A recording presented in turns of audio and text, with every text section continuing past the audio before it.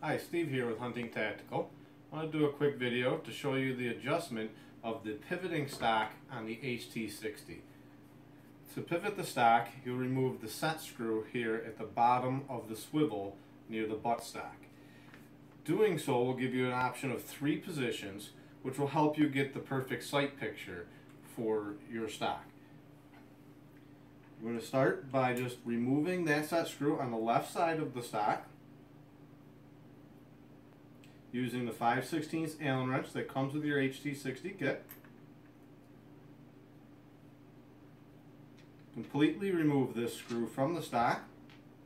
And on the right side, just go ahead and loosen the center screw there that holds it together.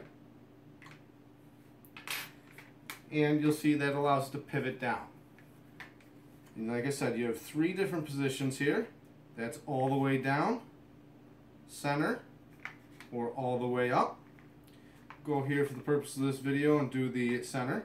You'll want to ensure that the hole is lined up in there. You don't want to do any cross threading.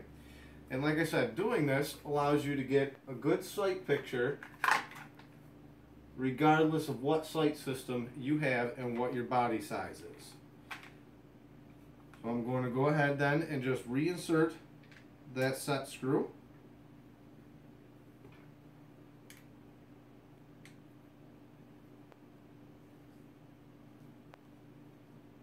Again, don't uh, make sure that it's lined up there.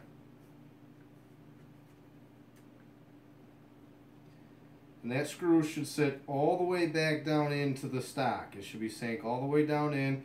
You should not be able to see the head of that screw when you tighten it down. And then you'll just go ahead and re-snug up that right side.